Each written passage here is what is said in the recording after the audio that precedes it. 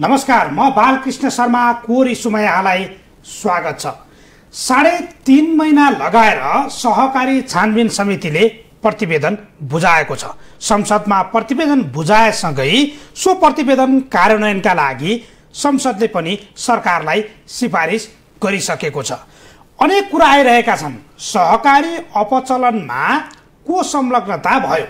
अर्थात् को को दोषी भेटिए? र दोषीहरूलाई कारवाही गर्न सिफारिस गरियो कि गरिएन भन्ने प्रश्न पनि अनेक थरीका सञ्चार माध्यमहरूमा समाचार आइरहेका छन्। सहकारी ठगी प्रकरणमा कङ्ग्रेसले जुन माग राखेको थियो त्यो माग अनुसारको प्रतिवेदन आयो त? अथवा दोषी प्रमाणित गर्ने प्रमाणहरू भेटिए त? भन्ने प्रश्न पनि उब्जिएको छ। त्यो सँगसँगै संसदको चालु अधिवेशन आजदेखि सकिएको छ। यिनै विषयमा हामी बहस गर्नेछौँ। हामीसँग हुनुहुन्छ सार्वजनिक लेखा समितिका सभापति ऋषिकेश पोखरेल। नमस्कार स्वागत छ। धन्यवाद। झन्डै साढे तिन महिना चार पाँच दिन पुग्न बाँकी छ तर समितिले प्रतिवेदन संसदमा बुझायो। प्रतिवेदनमा चाहिँ के आयो? धन्यवाद मित्र। सबभन्दा पहिलो कुरा त आज संसदमा समितिले पेस गर्यो। अब त्यो हामी मान्यहरूलाई अध्ययन गर्ने चाहिँ प्रतिवेदन छापिसकेको छैन। सम्भवतः भोलि पर्सिसम्ममा हामीले प्राप्त गर्छौँ। जति चाहिँ छानबिन समितिको सभापतिले संसदमा अभिव्यक्त गर्नुभयो हामी सबैले अहिलेसम्म बुझेको र जानेको कुरा त्यही नै हो।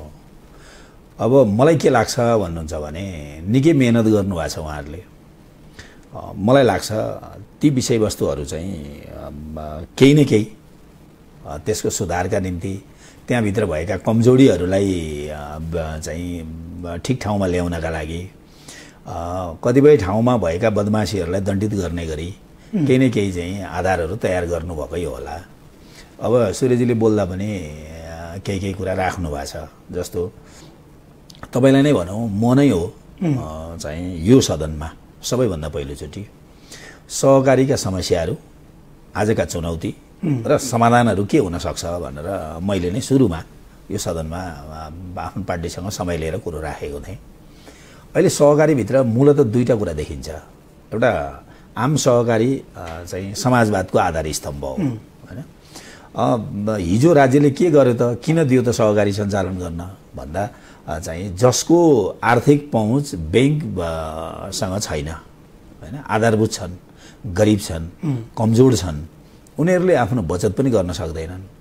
र उनीहरूलाई यसो कारोबार प गर्नु पर्दाको सामान्य पैसा पनि प्राप्ति गर्ने कहीँबाट ठाउँ छैन। साउकोमा जानुपर्छ पाँच रुपियाँ ब्याज मुने ब्याज श्रमिक ब्याज काम गरिदिए बापतको ब्याज र चाहिँ एउटा सामन्तवादी संस्कारबाट चलेर आएको हाम्रो समाज पुँजीवादी संस्कारबाट चलेर आएको एउटा समाज सहकारीले ठुलो परिवर्तन चाहिँ गरिदिएको छ। तर पछिल्लो बेला त्यही सहकारीका कमजोर ठाउँहरूलाई कानुनका कमजोर ठाउँहरूलाई पक्रेर नहुनेले सहकारीको सदस्य हुनुपर्ने नहुनेले सहकारीहरू नहुनेहरू मिलेर सहकारी सञ्चालन गर्नुपर्ने तर पछिल्लो बेला कानुनका लुपोललाई समातेर सहरमा सहरिया सहकारीहरू पारिवारिक सहकारीहरू होइन हुने खानेहरूको सहकारी जब निर्माण भयो त्यसकारण यी सामाजिक सहकारीहरू कमजोर भए। हाम्रो गाउँको भाषामा भन्ने हो भने एउटा सार्वजनिक विद्यालय जस्ता सहकारीहरू छन्। तिनमा मलाई लाग्छ अहिले पनि नाइन्टी पर्सेन्ट समस्या छैन है। तर बोर्डिङ स्कुल जस्ता सहकारीहरू जो छन् मलाई लाग्छ यसमा एट्टी पर्सेन्ट समस्या छ। होइन? अहिलेको चाहिँ समस्या त्यही हो। अब बोल्दा उहाँले भन्नुभएको छ चाहिँ केही केही सहकारीहरूको नामै लिएर नामै लिएर पनि भन्नुभएको छ। सहकारीभित्रका अहिलेका प्रवृत्तिहरूको बारेमा पनि उहाँले भन्नुभएको छ। र सब चाहिँ नियामक निकायहरूको उदासीनताको विषय पनि त्यहाँभित्र उठाउनु भएको छ र ठिक ढङ्गले सहकारीलाई व्यवस्थापन गर्न नसकेको कारणबाट उब्जिएको परिस्थिति हो भन्ने कुरा पनि उहाँले उठाउनु भएको छ। अब भोलि त्यो समग्र विषय चाहिँ समग्र विषय चाहिँ प्रतिवेदन अध्ययन नगरिकन भन्न सकिन्न। अब सहकारी भन्ने बित्तिकै तिनवटा कुरालाई हामीले कहिले पनि बिर्सनु हुँदैन। सहकारीले दुईवटा कुरा गर्छ। एउटा सदस्यहरूबाट बचत सङ्कलन गर्छ। दोस्रो विभिन्न सङ्घ संस्थाहरू ब्याङ्क वित्तीय संस्थाहरूबाट लोन ल्याउँछ। होइन? र चाहिँ त्यो लगानीमा हुन्छ। पछिल्लो बेला एउटा चिज चाहिँ डरलाग्दो गरी उठ्यो। उठेको। र त्यसले त तलका आधारभूत सहकारीहरूलाई पनि अप्ठ्यारो चाहिँ पारेको छ। त्यो के छ भने केही यो सामाजिक अभियन्ताको नाममा होइन ब्याङ्क वित्तीय संस्थाबाट ल्याएको चाहिँ ऋण नतिर भन्ने जुन हङ्गामा सिर्जना आन्दोलन गरियो। आन्दोलन गरियो। र त्यसमा के भने जसले बेमानी गरेको थियो बेमानीका हकमा भने त्यो एउटा कुरा होला। तर आ- यसमा चाहिँ सबैभन्दा धेरै आम इमान्दारहरू फसे। किन भन्दा ब चाहिँ सदस्यहरूबाट सङ्कलन गरेको पैसा पनि लगानीमै लगाउने हो उसले सहकारीहरूले। र विभिन्न ब्याङ्क वित्तीय संस्थाहरूबाट ल्याएको स्रोत पनि चाहिँ लगानीमै लाउने हो सदस्यलाई। सदस्यहरूले पो चाहिँ फिर्ता गर्दैन ऋण फिर्ता गर्दैन भने त संस्था त अप्ठ्यारोमा पर्छ नि त। होइन? यो कारणले पनि अब धेरै संस्थाहरू अप्ठ्यारोमा परेका देखिन्छन्। त्यसो हुँदा सबै नियत खराब भएर मात्रै होइन होइन? अब केही चाहिँ लगानी नउठेको कारणबाट। अथवा चाहिँ लगानीलाई पनि त हाम्रो प्रविधिको हिसाबले जसको जे क्षमता छ त्यसले त्यही विधिबाट लगानी गर्यो होइन? चाहिँ प्रविधि दिन सकेन होला होइन? कार्यक्रम दिन सकेन होला अथवा रेगुलर मोनिटरिङ गर्न सकेन होला। जसका कारणबाट पनि धेरै धेरै बचतकर्ताहरूको त्यसमा पनि कोभिड पछि यो समस्या आयो र पछि यो आन्दोलन यो चाहिँ ब्याङ्क वित्तीय संस्थाको पैसा नतिर भन्ने आन्दोलनले निकै धेरै सङ्घ संस्थाहरू अप्ठ्यारोमा परेको चाहिँ देखिन्छ। एकातर्फ अर्कोतर्फ ब्या- चाहिँ ऋण दिने ब्याङ्क वित्तीय संस्थाहरूले पनि प्रोजेक्टलाई हेरेर कार्यक्रमलाई हेरेर सुरक्षालाई हेरेर दिने होइन। होइन? चाहिँ व्यक्तिहरूलाई छनौट गरेर व्यक्तिहरूलाई भविष्यमा अबर पार्ने गरी होइन? त्यसरी चाहिँ अनेकन जा- जुक्तिको प्रयोग गरेर पनि लगानी गरिएको अवस्था अब यो प्रतिवेदन आइसकेपछि दुईवटा कुरा आए। जुन किसिमको प्रतिवेदन आयो यसलाई चाहिँ सुरुमा यो समिति बनाउनु पर्छ भन्दै गर्दा नेपाली कङ्ग्रेसका सांसदहरूले तत्कालीन गृहमन्त्री रवि लामी छानेका विरुद्धमा उनीहरूले समिति बनाउनु पर्छ भने। तर पछि सहमति जुट्यो ग्यालेक्सी मिडिया नेटवर्कको विषयमा। त्यहाँ जाँदा अहिले झन्डै पचासी करोड पैसा ग्यालेक्सी मिडियामा गएको छ। त्यो प्रतिवेदनले पनि देखायो। तर मानिसहरू के भने भने अहिले रासोपाको नेताहरू भनिरहेका छन्। रविले क्लिन चिट पाउनुभयो। तर कङ्ग्रेसहरू भन्दैछन् होइन क्लिन चिट पाउनु भएको छैन। यो के हो? यसमा चाहिँ एउटा कुरा यो यो विषय राजनीतिक विषय होइन। यसलाई राजनीतिक विषय पटक्कै बनाउनु हुँदैन। के हो त भन्दा चाहिँ अहिले अहिलेको के देखिन्छ भन्नुहुन्छ भने तपाईँलाई हाम्रो विशेष त संसद मलाई अलिकति तपाईँलाई थोरै जोड्छु। हाम्रो संसद चाहिँ कस्तो थलो भयो भने जनताका प्रतिनिधिहरूले संसदमा आएर कुरा उठाउने भनेको त समस्या पनि राख्ने र समाधान पनि दिने ठाउँ हो नि त त्यो होइन र? यसरी जाउँ भन्ने। एउटा चाहिँ के हो भने संसदमा चाहिँ त्यो तिक्तता पोख्ने प्लेटफर्मको रूपमा संसद विकास भयो है? त्यहाँ मर्यादाको कुरा पनि रहेन। एक अर्काले चाहिँ त्यो आफ्नो मर्यादाको साथ कुरा राख्नुपर्छ भन्ने भन्ने छैन। के बोल्नुपर्छ के बोल्नुपर्छ भन्ने पनि छैन होइन? त्यो एउटा पट्टा खेल्ने होइन? पट्टा खेल्ने ठाउँको रूपमा विकास भयो एकातर्फ। अर्कोतर्फ के भयो? भन्दा चाहिँ सरकार संसदमा उठेको विषयप्रति सिरियस भएन। होइन? जे विषयवस्तुहरू सदनमा उठ्छ त्यो त जनताको प्रतिनिधिले उठाउने हो। त्यसो हुँदा जनताका प्रतिनिधिले उठाएको विषयवस्तुहरूमा चाहिँ सरकार सिरियस भएर यो चाहिँ यो हो यो चाहिँ यो हो भन्ने हिसाबले उसले अफेन्सिभ लिड गर्न सकेन होइन? तेस्रो कुरा चाहिँ राज्यको चाहिँ प्रशासनिक अङ्ग यस्तो भयो कि प्रशासनै छैन होइन। कुनै काम महिनौ दिनसम्म फाइल लम्पसार छ होइन? चाहिँ कसैले कुनै पनि अड्डामा गएर सेवा लिन पाउँदैन।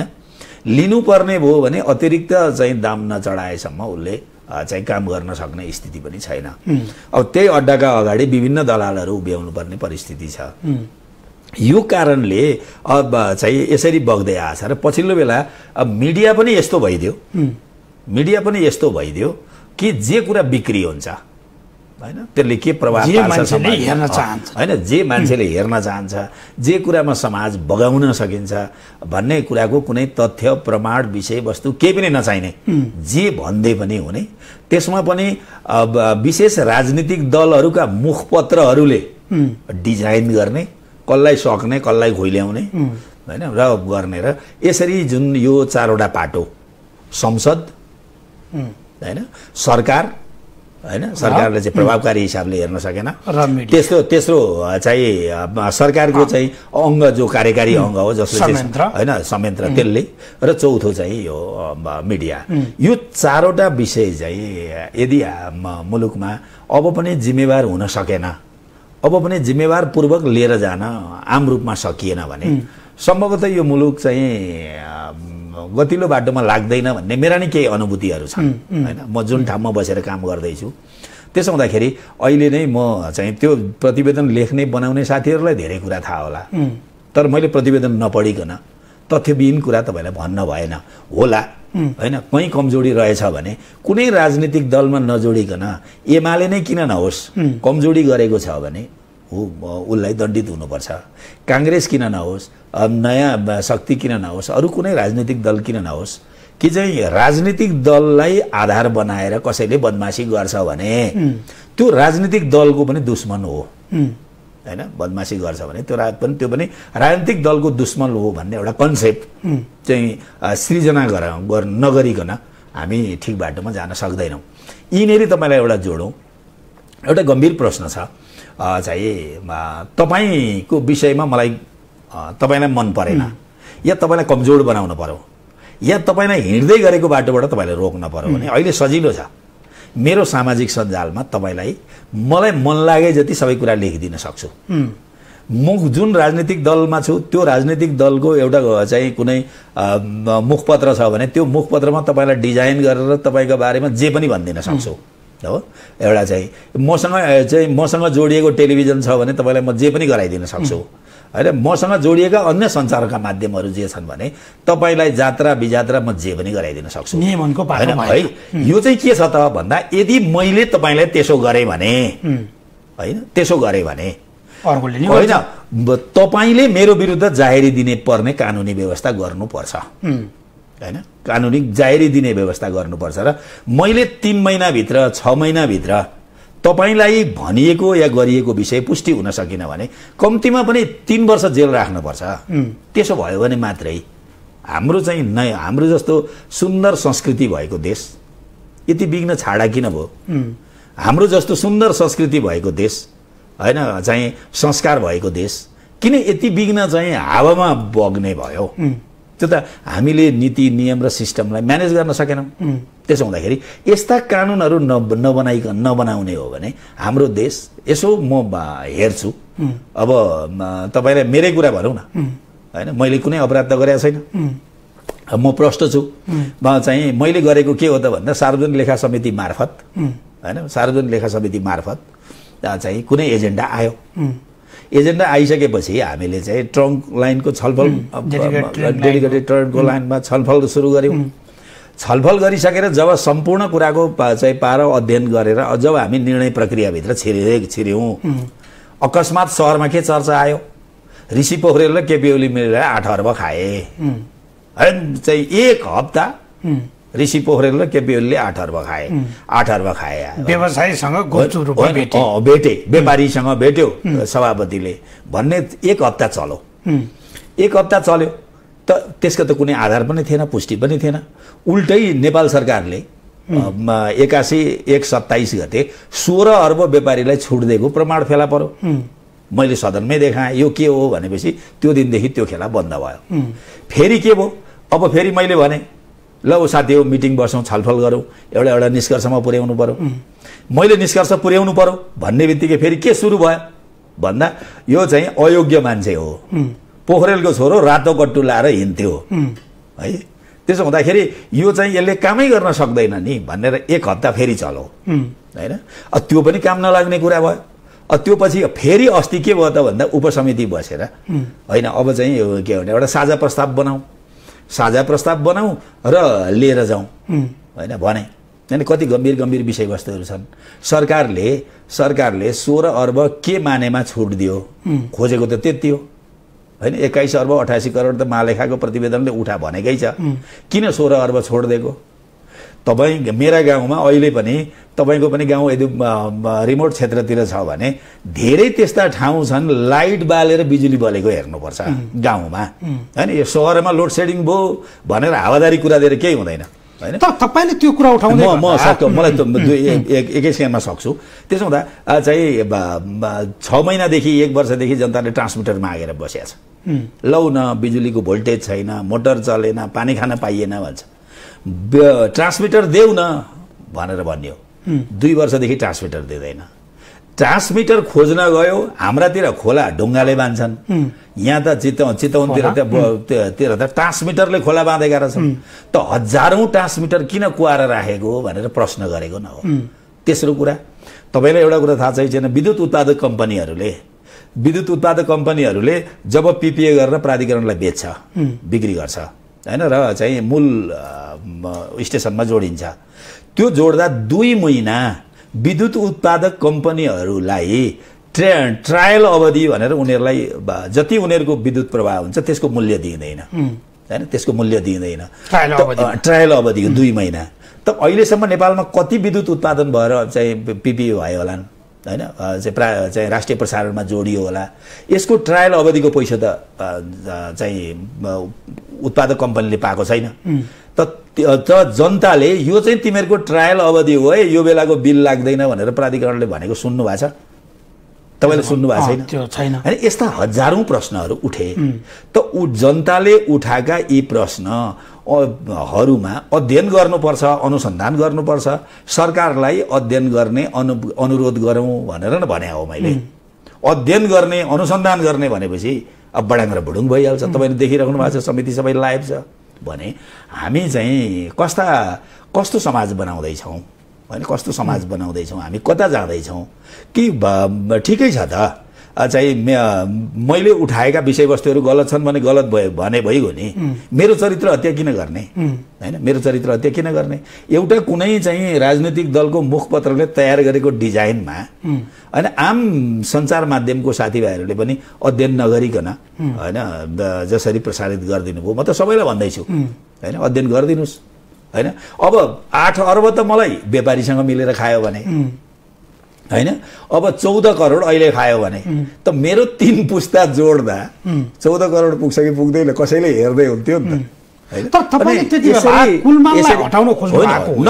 व्यक्तिसँग कुनै सरोकार छैन। व्यक्तिसँग तर। माओवादीले त तपाईँलाई त्यही भनिदियो। होइन त्यो त त्यही मैले त्यही भन्दैछु त यो प्रायोजन हो। प्रायोजनमा व्यक्तिहरूलाई खोइल्याएर इमानलाई खोइल्याएर होइन? इमानलाई खोइल्याउने के भन्दा खोइलिन्छ खुइल्याउने इमानलाई कमजोर बनाउने अनि बेमान र भ्रष्टहरूलाई यसमा चाहिँ संरक्षण गर्ने जुक्ति हो यो। अध्ययन गरौँ न अनुसन्धान गरौँ।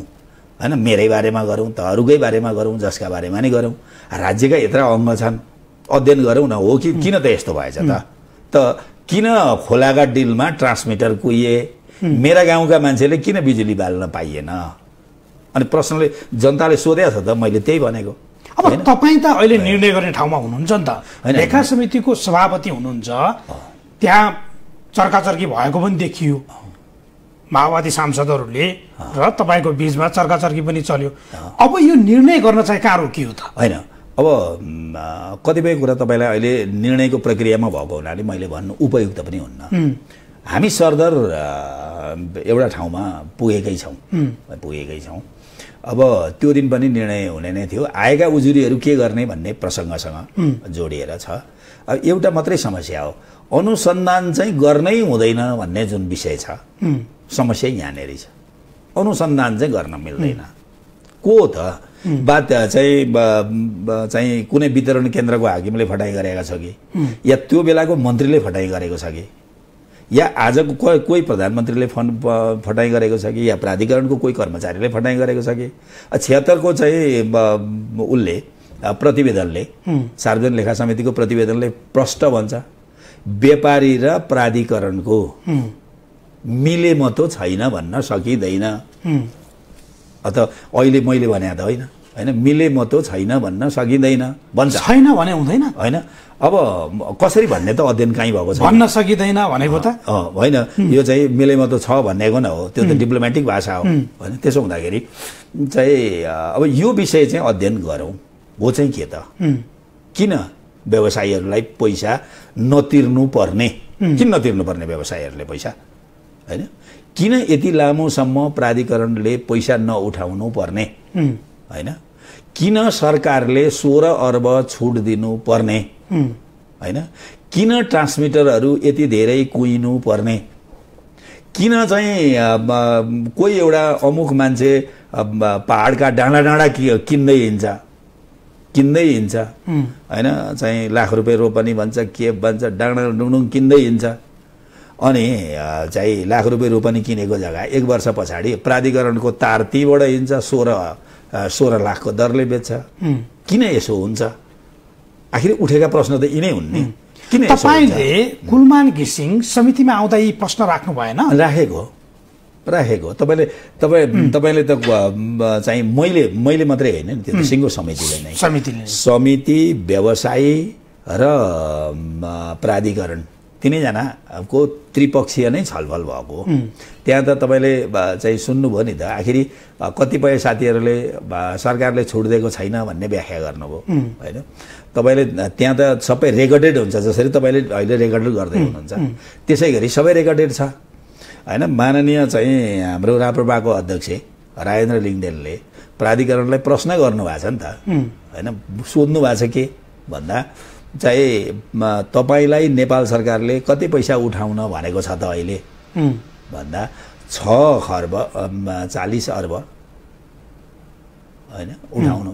छ छ अर्ब चालिस चालिस करोड उठाउनु भनेको छ। त्यसमा मैले चाहिँ अरू चाहिँ थपथाप गरेर के के यो बिगोसीको थपथाप गरेर आठ अर्ब चालिस करोडको बिल पठाएको छु भनेर त भिडियो नै छ नि त त्यहाँ त। होइन? त्यो त यसरी जसरी तपाईँले मलाई रेकर्ड गर्दै हुनुहुन्छ त्यसै गरी छ।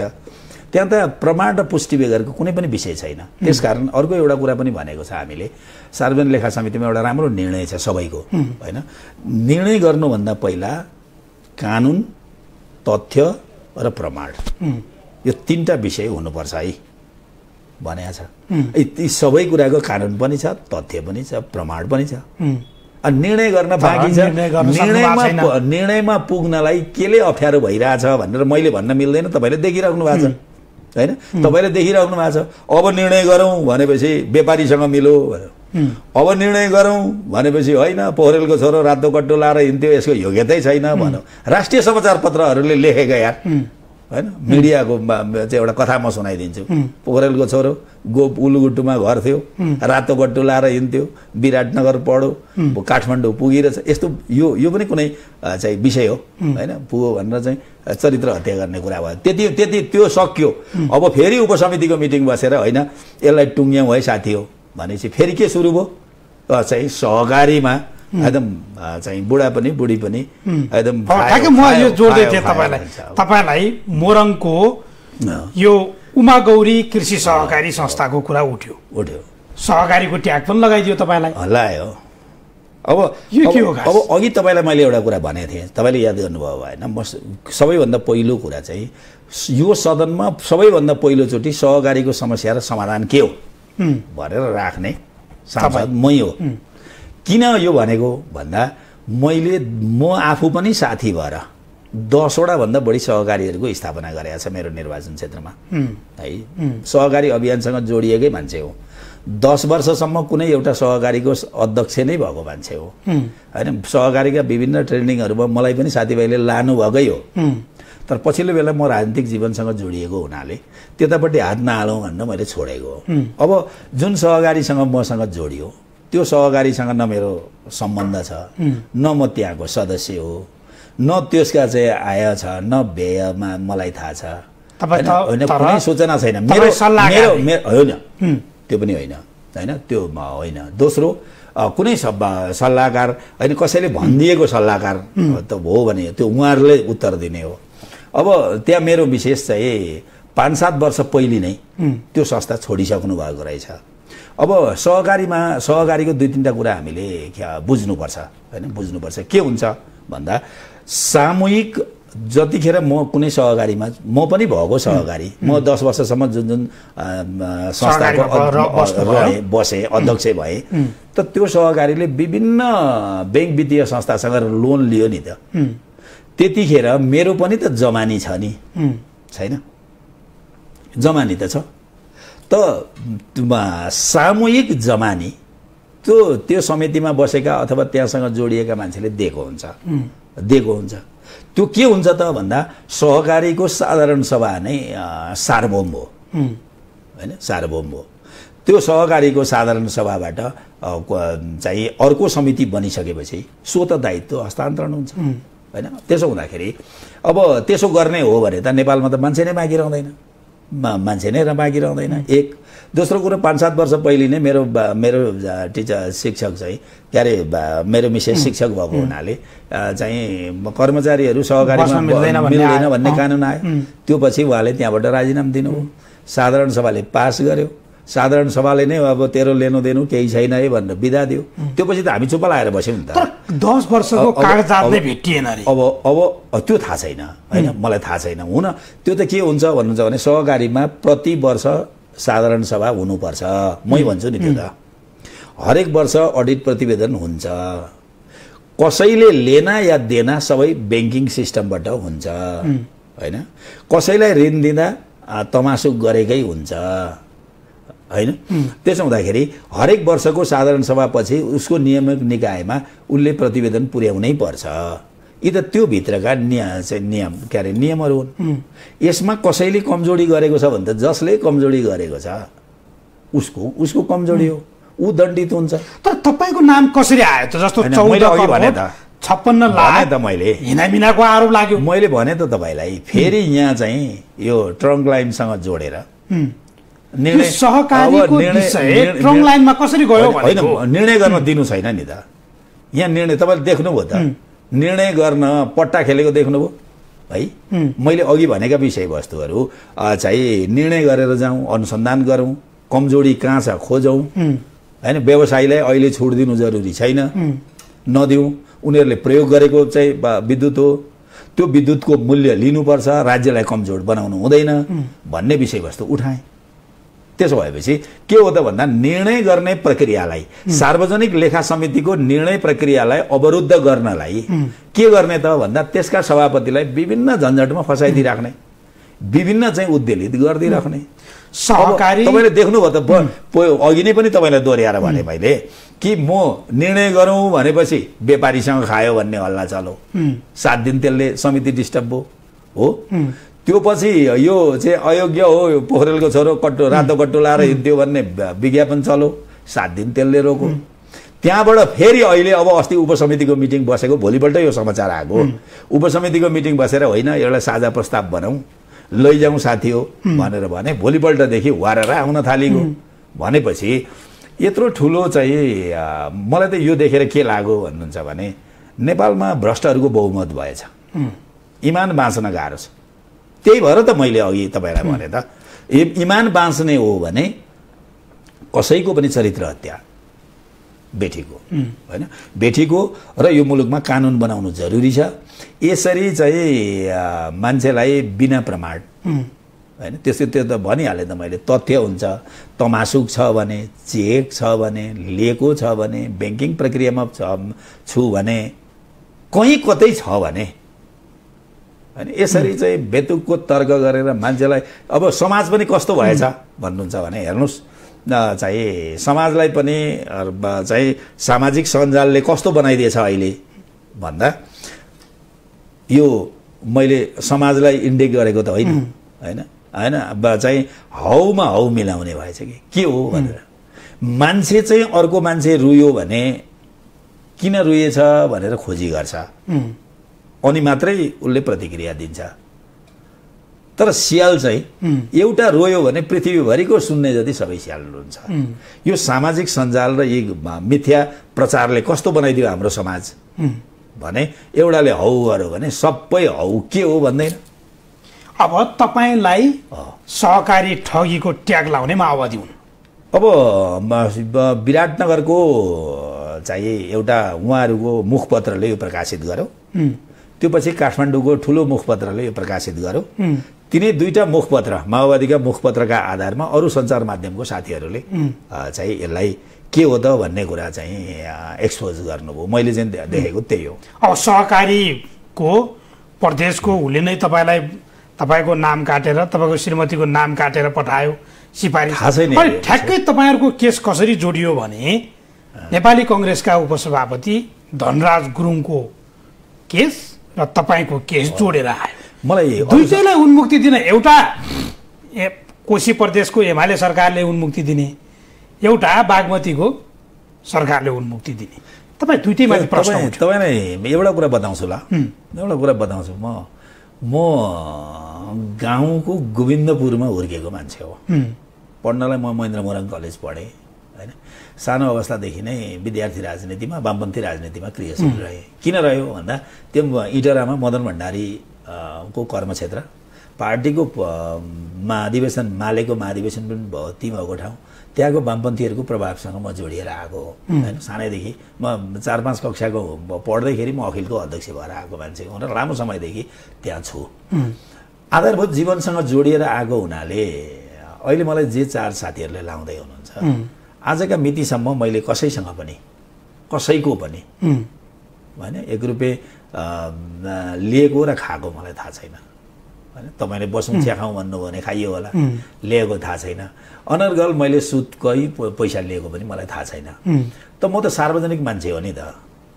मेरो त सत्तरी साल म संविधानको सभाको सदस्य। मैले दुई हजार सत्तरीदेखि आजका मितिसम्म सधैँ मेरो सम्पत्ति के हो भन्ने कुरा वार्षिक त्यहाँ बुझाउँछु।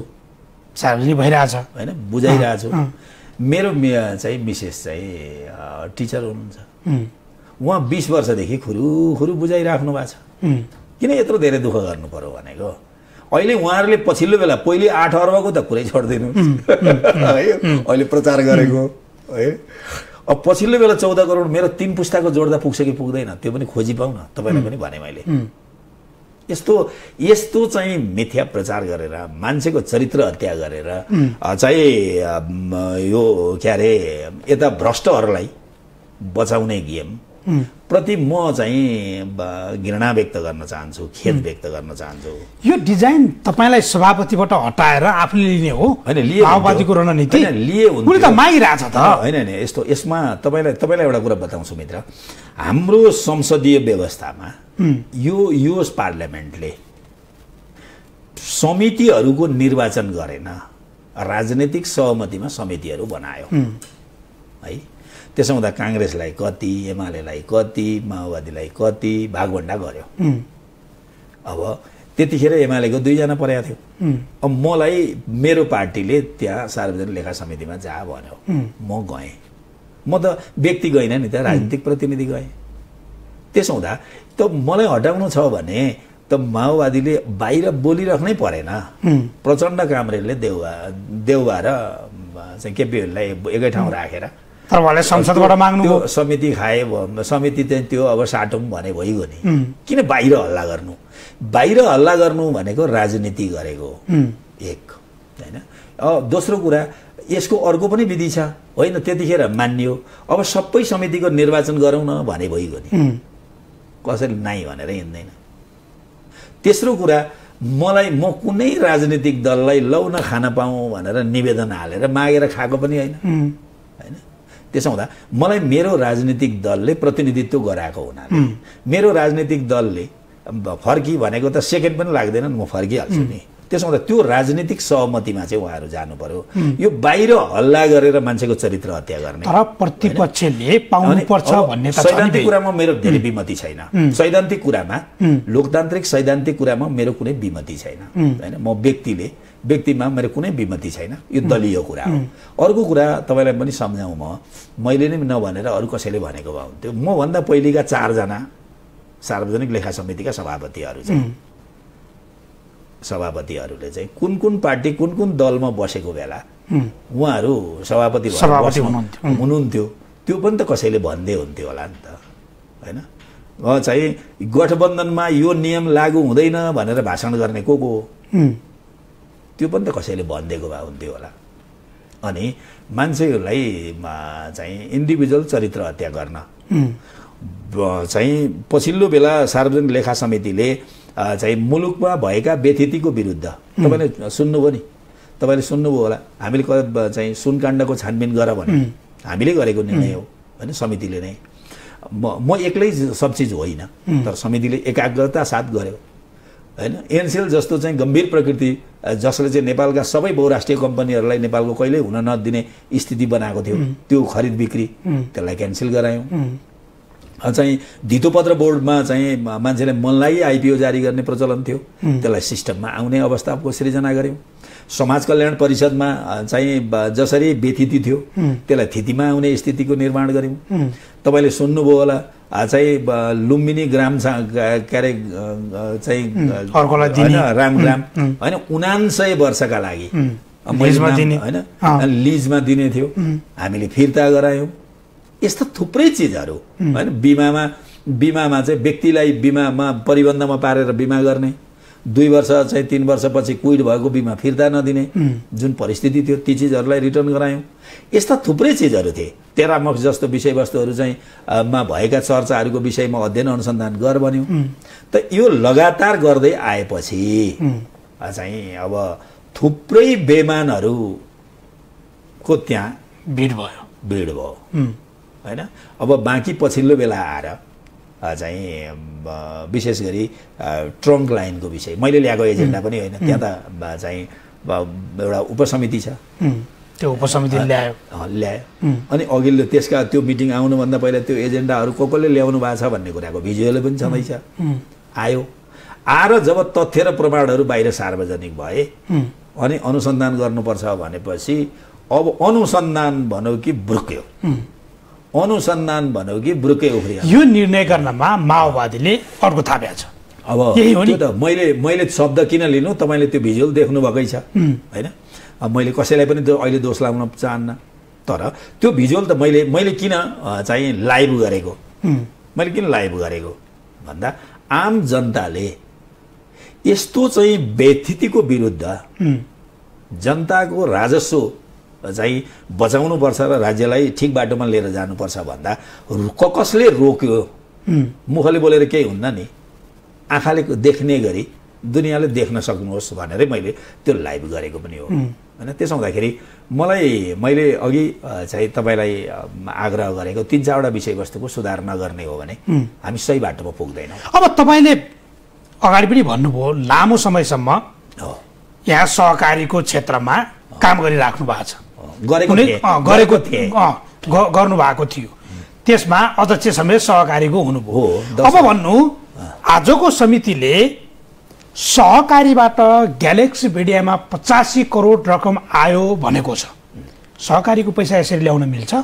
अब सबभन्दा पहिलो कुरा चाहिँ तपाईँलाई म एउटा के कुरा बताउँ भने अब यो करोड मैले काठमाडौँ आएर मात्रै सुनेको करोड।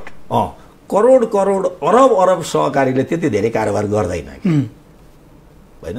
गर्ने कति हो त भन्दा यसो मैले हाम्रोतिरको सामाजिक सहकारीमा हेर्दाखेरि दस बिस करोडको कुरा हो।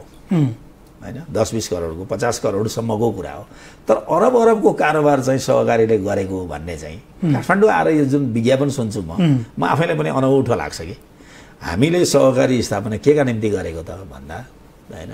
आर्थिक पहुँच नभएका मान्छेहरूको बचतबाट र विभिन्न सङ्घ संस्थाबाट चाहिँ ऋण खोजेर ल्याएर उनीहरूको आर्थिक उपार्जनका निम्ति सहकारीको अवधारणा आएको ल्याएको हो। अब म त यहाँ अरब अरबको कुरा सुन्छु है। मलाई आफै अत्यस लाग्छ कि। मैले भनेको यदि मिल्छ। यदि होइन मिल्न त कार्यक्रमका आधारमा यदि तपाईँ उसले व्यावसायिक प्रयोजनका निम्ति गयो भने त अरबै खरबै पनि ल्याउन मिल्ला। होइन? किनभने आफ्ना सदस्यहरूलाई चाहिँ आर्थिक रूपले सम्पन्न बनाउँछु भन्न त किन नमिल्नु र? मिल्यो हाम्रो कानुनले दिएकै रहेछ। तर एउटा व्यक्तिले चाहिँ एउटा चाहिँ त्यो सञ्चालक समितिले निर्णय गरेको हुन्छ। होइन? यतिभन्दा माथि ऋण नदिने। होइन? सामान्यतः मलाई के लाग्छ भन्नुहुन्छ भने पचास पचास करोडभन्दा बढी अथवा प- पचास करोड अथवा तिस करोडभन्दा तलका कुनै पनि संस्थाले प्रोजेक्टमा बाहेक चाहिँ बिस लाख पच्चिस लाख तिस लाखभन्दा माथि किनभने त्यो त चार पाँच सय सदस्य त हुन्छ। मागेको बेला त सबैलाई दिनु पर्यो होला। उसको प्रोजेक्टको आधारमा। भने पन्ध्र बिस लाखभन्दा माथि त एउटा व्यक्तिलाई दिनै सकिँदैन नि। दिनै सकिँदैन। अब कसरी दिनुहुन्छ त्यो त मलाई थाहा भएन होइन? कसरी लिनुभयो कसरी दिनुभयो त्यो मलाई थाहा भएन। तर एउटा चिज चाहिँ तपाईँलाई के कुरा एउटा एउटा चिज चाहिँ के कुरा क्लियर हुनुपर्छ भने जनताले बचत गर्दा पनि सहकारीले बचत रसिद दिनुपर्छ दिएको हुनुपर्छ। चाहिँ सहकारीले कसैलाई लोन दिँदा पनि तमासुक गरेको हुनुपर्छ है? संस्थाले कहीँबाट पैसा ल्याउँदा पनि ब्याङ्किङ प्रणालीबाट मार मात्रै आएको हुनुपर्छ। पैसा दिँदा पनि तपाईँले चेक मार्फत मात्रै दिएको हुनुपर्छ। होइन? अब यो चाहिँ त्यसको आन्तरिक विधि हो यो आम चाहिँ विधि हो योभन्दा बाहिरबाट त कुनै कोही चल्नै सक्दैन। चौबिस घन्टाभन्दा बढी अब धेरैले गर्नेले अहिलेसम्म अहिले मैले पछिल्लो बेला थाहा पाएको बाह्र घन्टा छ। सुरु सुरुमा हामीले जस्तो ब्याङ्किङ प्रणालीको विधि थिएन। जस्तो म जतिखेर सहकारीको अध्यक्ष थिएँ नजिक ब्याङ्क थिएन। त्यसो गर्दा चौबिस घन्टाभित्र दिनभरि बचत भएको पैसा चाहिँ भोलिपल्ट बेलुकासम्ममा ब्याङ्कमा जम्मा गर्नु पर्थ्यो। होइन त्यो चाहिँ ड्रमा त्यसरी पैसा राख्न पाइन्न। होइन त्यसो हुँदा यो चाहिँ अहिले कसरी भइरहेछ होइन मैले पनि त्यो अध्ययनमा त्यो समितिमा म थिइनँ। त्यस कारण म त्यो भन्न सक्दिनँ। तर प्रक्रियाभन्दा प्रक्रियाभन्दा प्रक्रियाभन्दा बाहिरबाट चाहिँ सहकारीको पैसा अवचलन हुन सक्दैन। यदि प्रक्रियाभन्दा बाहिरबाट अवचलन भएको छ भने त्यो चाहिँ दण्डनीय कुरा हो। तेस्रो दोस्रो कुरा तर अब सम्पूर्ण रूपमा लगानीमा छ। त्यो सम्पूर्ण प्रमाणित देखिन्छ। तपाईँ कुनै सहकारीको अध्यक्ष हो।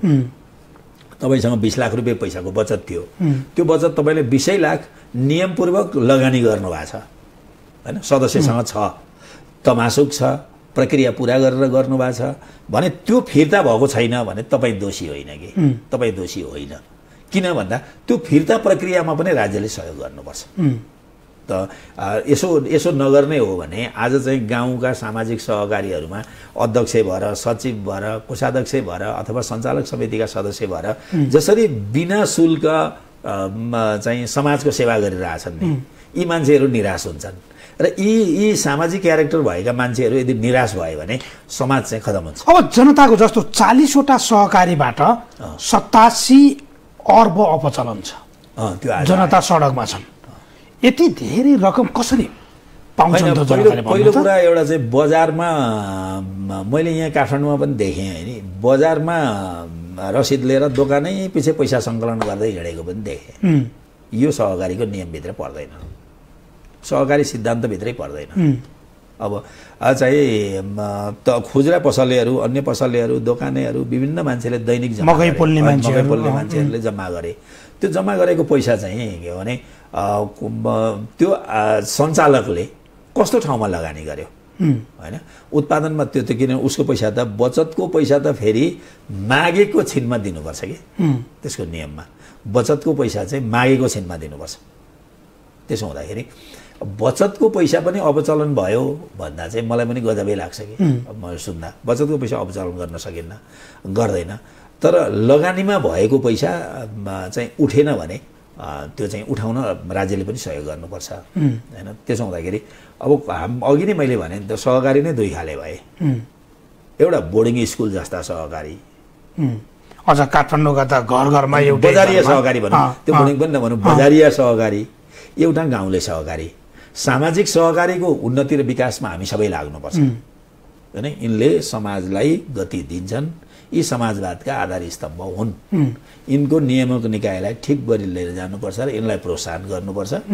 तर बजारिया सहकारीहरू जो सहकारीको सिद्धान्तलाई गलत ठाउँलाई पक्रेर चाहिँ दुरुपयोग गरिरहेछन् उनीहरूलाई नियमन गरेर ठिक ठाउँमा ल्याउनुपर्छ या बन्द गर्नुपर्छ।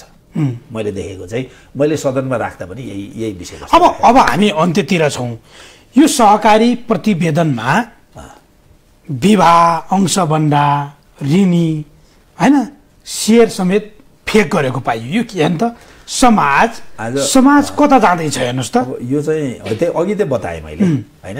हाम्रो समाज चाहिँ साँच्चै भन्ने हो भने हाम्रो सांस्कृतिक मूल्य मान्यतै सक्यो होइन?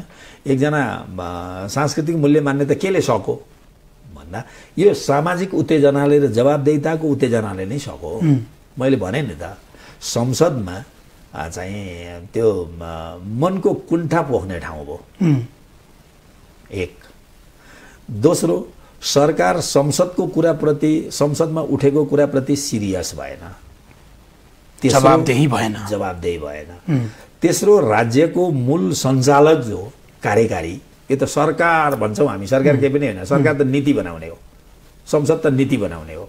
नीति बनाउन सहयोग गर्ने हो। अझ नीति पनि कता कताबाट पेनिटेसन गरेर लिएर आउँछन्। संसद त जमानी बस्ने हो। होइन अहिलेसम्मको परिस्थितिको हिसाबबाट हेर्दा।